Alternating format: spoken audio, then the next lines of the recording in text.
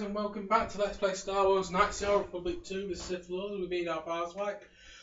Last time we finally, finally finished wrapping up our business, even though two of the quests were glitched. Now, at last, at last, we can move on to Korriban.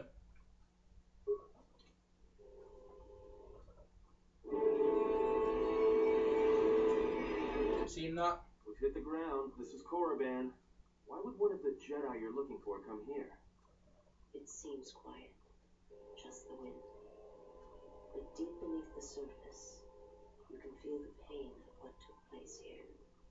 There's great power in this place. For those who can hear its call. There is much that would draw a Jedi to this place. The resting grounds of the ancient and more recently departed Sith contain many teachings believed lost. The most likely place to find our lost Jedi is the ruins of the old academy. Sorry about that, guys. By uh, skipping, I only thought it would skip the leaving of um, Nar Shaddaa sequence, but unfortunately, it also skipped one of the most epic cutscenes in the game, landing on Korriban. So, unfortunately, I'm so sorry that you had to miss that.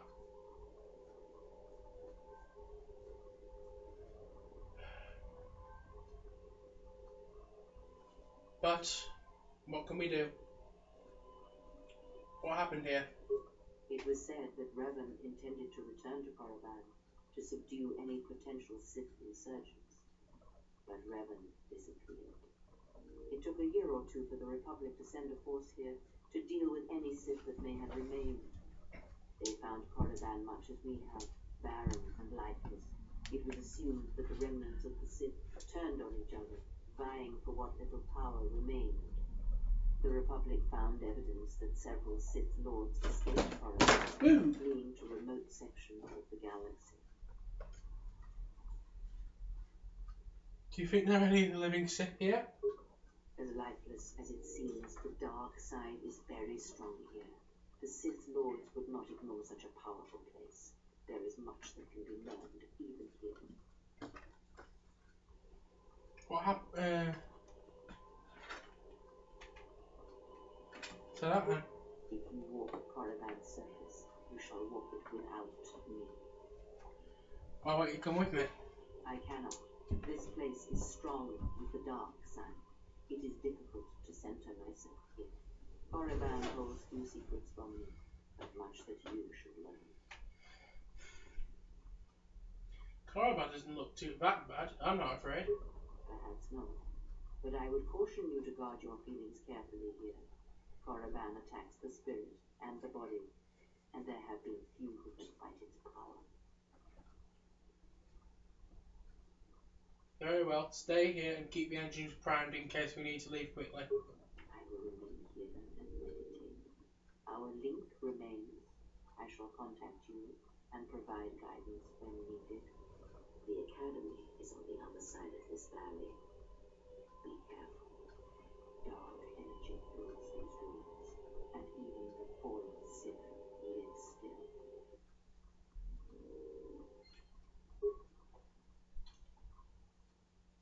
Right. Our new quest says. That we can well that we can still do. Those two are glitched. You are searching for traces of the lost Jedi in the ruins of Korriban. Kreia suggested looking within the Sith Academy. Why not?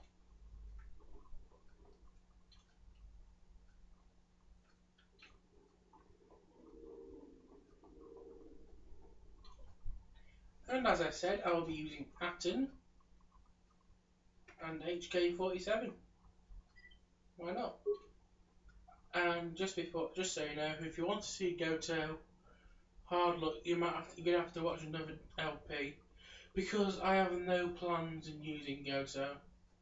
The only thing we'll see of Goto is leveling up of Goto and talking with Goto. That's it, and probably a few cutscenes with Goto. That's it. That's all you get to see of him. You'll not get to see him in action simply because I absolutely hate him. For me, Goto is my least favourite character in both games.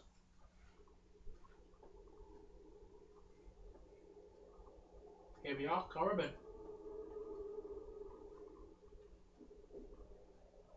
The structures you see around you are the plundered tombs of the ancient Sith Lords. Each tomb was once infused with the history and heritage of the old Sith Empire, containing great mysteries powerful relics of Force. However, even the many traps could not long hold back the curious, the fools, the weak, and so these tombs fell, spilling their secrets into the hands of those unable to comprehend or preserve them. A remark that um, Vengeful KBM made in one of his LPs is that this planet would be fitting for the Sith hymn theme. And to be quite frank, I agree with him. This seems like a very evil place and deserves very evil music. Fortunately, if I play that evil music, because I know the one that I want to play, I will get copyrighted for it, probably.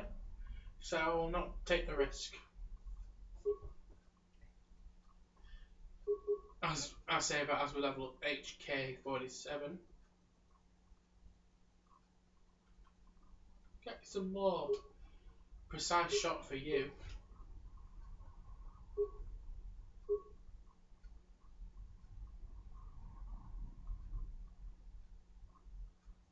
We'll focus on these for you because they're your highest ranked skills.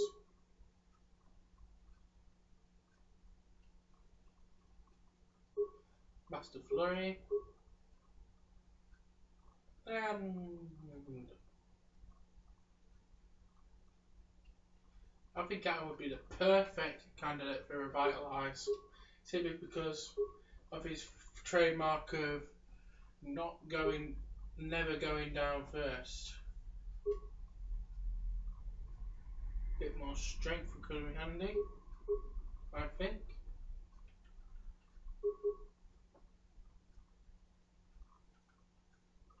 Every should know Force Push.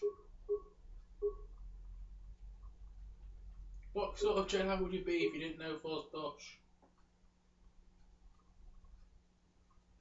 Um, definitely more damage with a lightsaber. And continue down the, revi the revitalized tree.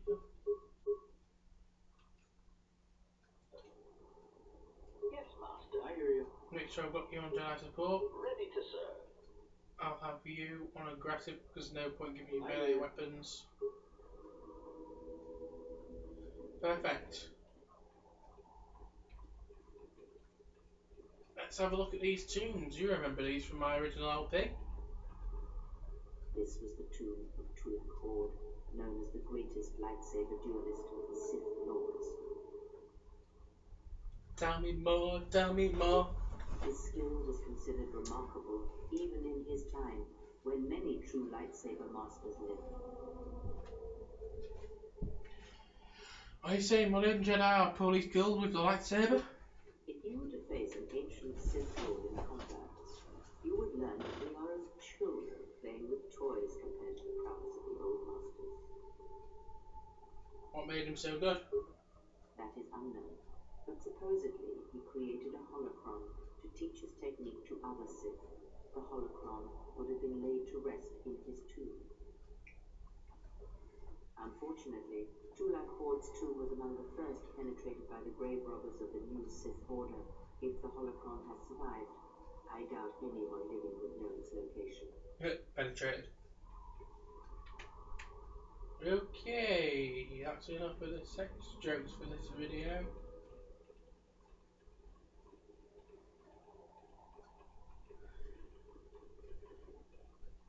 Tomb of. Ahead lies the tomb of Naga Sadow. That's what I just said. successor to Marka Ragnos, and the Sith Lord responsible for nearly conquering the Republic in the Great Hyperspace War a millennia ago. Tell me more, tell me more.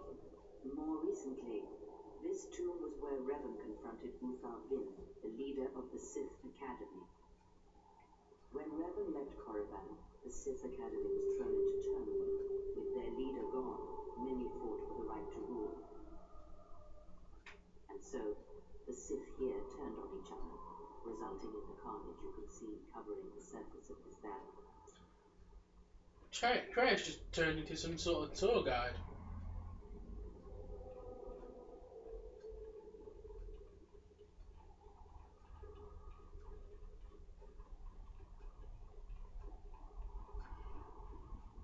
Over here is the tomb of Marka Ragnos, Before you is the tomb of the great Sith Lord, Marka as I just said. a half-breed who possessed tremendous strength, both physically and in the Force. Tell me more. Tell me more. Ragnos held power for over a century, using his cunning to turn his enemies against each other. His death left a great vacuum of power. We're standing close to the spot where Naga Sadow first confronted Ludo Kresh to vie for domination of the Sith. Their struggle nearly resulted in a civil war that would have torn the Sith apart before they ever threatened the Republic. Sounds like civil wars are coming among the Sith. Yes, it is the way of the Sith. They must continually test their strength against each other, even if it means destroying themselves. So what happened between Sadow and Kresh? As fate would have it, a pair of hyperspace explorers from Simigar landed on Korriban. Naga Sadow manipulated the Sith into believing they were a sign of impending Republic invasion. This fear resonated with many Sith who were discontent with the lack of expansion of the Sith Empire during the reign of Marka Ragnos. Thus, Naga Sadow became Ragnos' successor.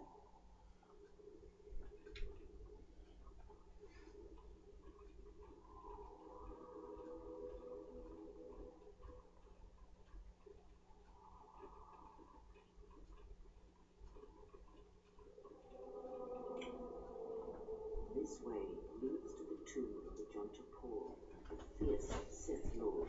According to legend, the blade proved more fearsome than the master, leading to his demise.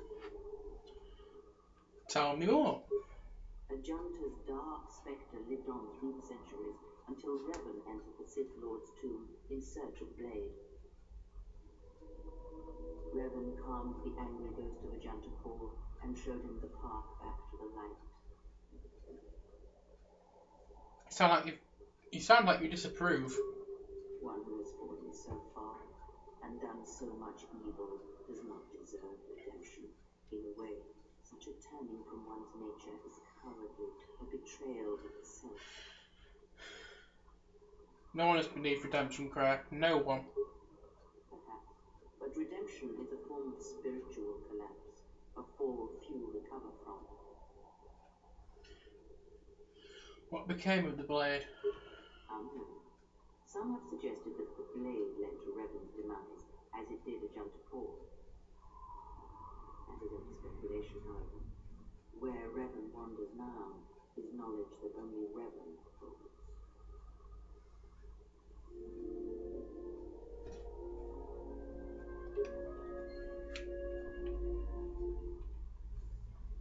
Alright, that. Are the tombs of Korriban. What is this body over here? We will find out. The broken corpses before you are all that remain of the Sith of Korriban. I doubt there is much to be gained from looting these bodies. It would be best to leave them be. More on that next time. Thanks for watching. I may the force be with you always.